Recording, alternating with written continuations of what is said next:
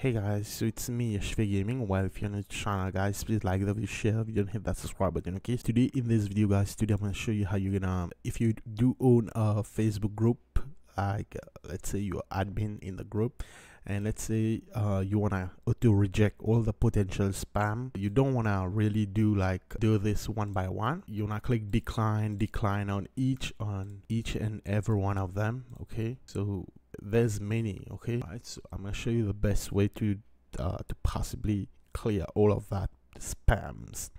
All right so i've created a script in using javascript.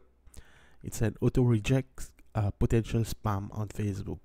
All right so make sure that you log in into your account. As you can see i have 74 okay? 74 potential spam. Make sure that you go to this and click chrome extension and then you all you want to search is Tampermonkey right here. Tampermonkey. So you want to add extension. It has been installed. And uh, make sure that you re reload the page okay? Make sure that you're in the potential spam right here. Click this pin the Tampermonkey right here. Let's create a new script right here. So you're gonna paste your code right here. So edit.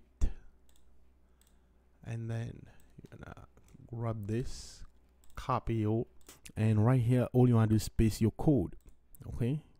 Just paste it like that. And click file save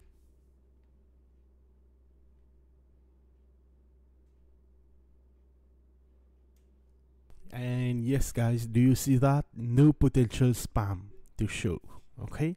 So the script really worked. Thanks so much for watching. If this uh, tutorial helps you definitely subscribe